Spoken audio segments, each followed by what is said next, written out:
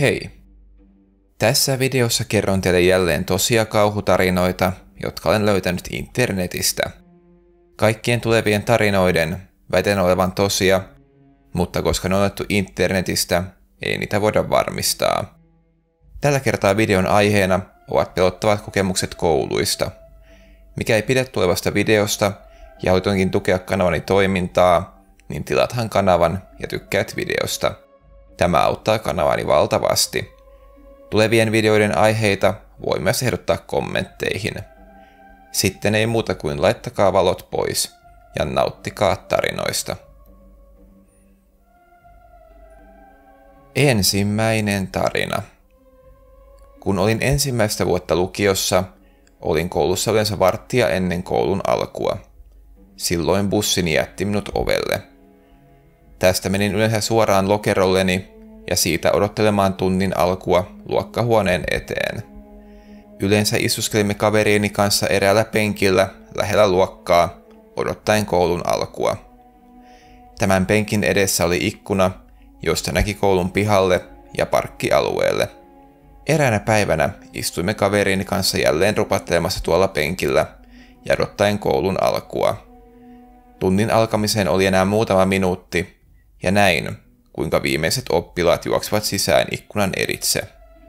Heidän jälkeensä tuli kuitenkin selvästi vanhempi mies, joka ei varmasti ollut enää oppilas. Mutta hän oli vähän nuoren näköinen opettajaksikin. En myöskään ollut nähnyt häntä koskaan aikaisemmin.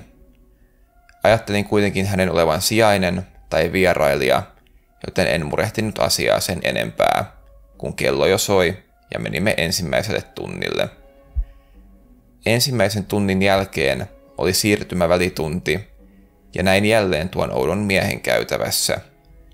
Jälleen hän kiinnitti huomioni poikkeavuudellaan, mutta uskoin, että hänellä oli jokin syy olla paikalla. Muutkaan eivät tuntuneet kiinnittävän häneen sen kummempaa huomiota, joten en itsekään osannut ihmetellä asiaa. Vielä lounastunnilla huomasin tuon miehen syövän lounasta pöydän ääressä – Olin havainnut, ettei hän ollut puhunut kenellekään, mutta ihmekös tuo, jos hän oli ensimmäistä päivää opettamassa tai sijaistamassa uudessa koulussa. Koulupäivä lähini loppuaan ja suuntasimme viimeiselle oppitunnille.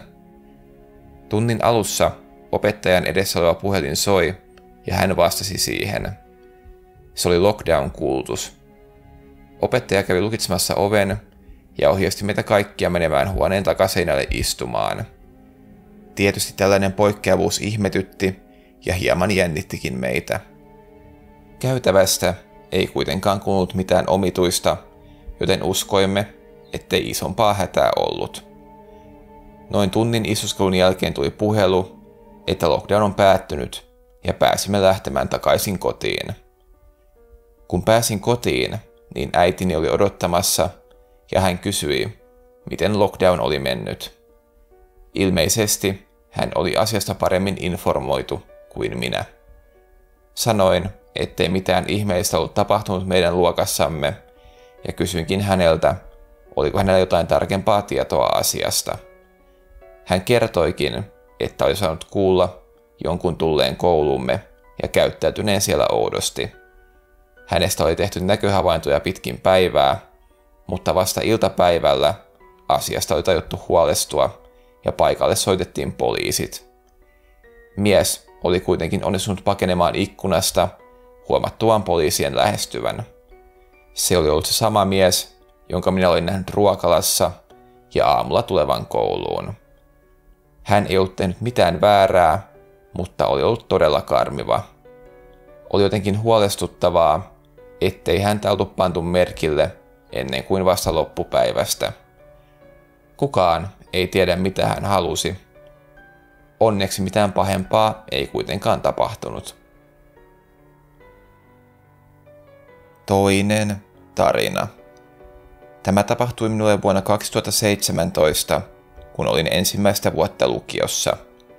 Minulla oli siitä poikkeava koulupäivä, että pääsin lähtemään vähän aikaisemmin lääkäritapaamiseen – ja sekös minua riemastutti. En ollut kovin innostunut opiskelusta, ja vähän lyhyempi koulupäivä kyllä kelpasi. Istuskelin kuitenkin tunnilla tylsistyneenä. Tuntui, että tieto lyhyemmästä päivästä sai minuutit kulkemaan entistä hitaammin. Katsein ikkunasta ulos ja huomasin, että koulua edeltävällä tiellä kulki poliisiauto ja pillit päällä.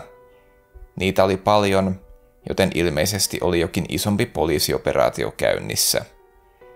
En kuitenkaan enää miettinyt poliisiautoja, sillä minun tuli aika lähteä. Nousin ylös ja otin opettajalta kotitehtävät. Sitten poistuin luokasta. Kävelin kohti koulumme sivuovea, jonka edestä äitini piti tulla hakemaan minut. Vähän aikaa käytävässä kuljettuani kuulin kuitenkin, kuinka koulun kellot soivat lockdownin merkiksi.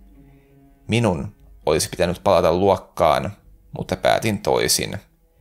En halunnut viettää koulua enää yhtään enempää aikaa, ja luokkaan palaaminen olisi merkinnyt määrittelemättömän pituista odottelua. Kävelin siis ripeästi kohti ulkoovea. Koulussa oli hiljaista, mutta vähän ajan kuluttua kuulin viereisestä käytävästä askelia. Kenenkään ei pitänyt olla ulkona luokasta, joten tämä pelotti minua melkoisesti. Pian käytävämme risteäisivät. Käännyin nopeasti käytävälle toivoen, etten herättäisi liikaa huomiota. Näin kuitenkin silmäkulmastani hahmon, jota en heti tunnistanut, kulkevan kauempana käytävällä.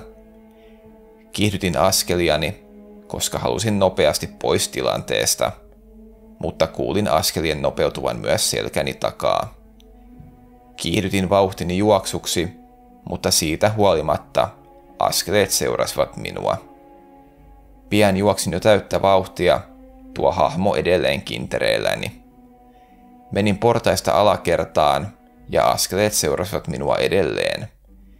Juoksin sen, minkä jaloistani pääsin, ja pikkuhiljaa seuraajani jäi jälkeen. Kun tulin sivuovelle, jonka edessä äitini odotti, vilkaisin taakseni. Näin tuntemattoman miehen käytävän päässä tuijottavan minua. Avasin oven ja menin äitini luo. Äitini ihmetteli poliisiautojen määrää, mutta minä käskin hänen vain ajaa. Kun pääsin myöhemmin kotiin, niin selvittelin tapahtumaa tarkemmin. Poliisioperaatio johtui karanneesta vangista, joka liikkui alueella. Hänet oli nähty koulumme liepeillä, joten tästä syystä kuulutettiin lockdown. Tämä mies oli se, joka seurasi minua koulussa. Hänet saatiin lopulta kiinni, mutta minua jäi vaivaamaan, miksi hän oli seurannut minua. Oliko hän ajateltu ottaa minut panttivangiksi vai mikä oli syynä? Ajatuskin puistattaa. Kolmas tarina. Tämä tapahtui, kun olin viimeistä vuotta lukiossa. Olin saanut koulutehtäväni vähän aikaisemmin tehtyä ja sain opettajalta tehtäväksi viedä hänen lainaamiaan tavaroita takaisin toiselle opettajalle. Lähdinkin tähän hommaan ilomielin. Kun pääsin käytävään, niin laitoin kuulokkeet korvilleni. Jonkin aikaa käveltyäni näin omituisen miehen käytävässä. Tunnit olivat käynnissä, joten hän oli yksin käytävässä, ja tämä kiinnitti huomioni. Hän näytti paljon vanhemmalta kuin koulun oppilaat. Jatkoin kuitenkin matkaa tästä huolimatta. Saavuin sen luokan eteen, johon opettajani lainaamat tavarat piti palauttaa. Yritin avata oven, mutta se oli lukossa – Lisäksi luokassa oli valot pois. Ajattelin, että ehkä hänellä ei ole tuntia, ja päätin palata kantamukseni kanssa takaisin omaan luokkaani. Lähdin kävelemään takaisin ja näin taas tuon miehen. Tällä kertaa minut nähdessään hän lähti minua kohti. Haistoin palaneen käryä ja nopeutin askeliani. Juoksin kulman taakse ja päätin piiloutua kantamukseni kanssa vessaan. Menin tyhjään vessakoppiin piiloon. En vieläkään uskonut tuosta miehestä mitään kovin pahaa. Hän kuitenkin vaikutti karmivalta. Hetken kuluttua kuitenkin kuulin, kuinka vessan ovi kävi taas. Nousin varovasti pytyn päälle ja kuulin, kuinka joku kierteli vessassa, kunnes hetken kulttua poistui. Odotin hetken aikaa ja lähdin hiippailemaan pois. Kuitenkin kun tulin käytävälle, niin näin jälleen saman miehen vähän matkan päässä. Hän oli siis käynyt vessassa, todennäköisesti etsimässä minua. Hän lähti uudestaan minua kohti ja minä lähdin jälleen karkuun. Juostessani ulkooven ohi huomasin poliisit sen takana ja juoksin heidän luokseen. He ottivat minut kiinni ja kysyivät, kuka minä olin. Näytin heille opiskelijatodistukseni ja he kysyivät, mitä teen luokan ulkopuolella. Kaikki oppilaat oli kuulemma kuultettu luokkaan. Koulussa oli nähty epäilyttävä mies ja kukaan ei saanut liikkua käytävillä. En ollut tätä kuullut, kun olin kulkenut kuulokkeet korvilla. Poliisit ohjasivat minut takaisin luokkaan ja en saanut koskaan tietää tuon miehen tarkemmista motiiveista. Kiitos videon katsomisesta. Mikä ei pidit siitä, niin tilathan kanavan ja tykkäät videosta. Muuten se on moi moi ja nähdään taas seuraavalla kerralla.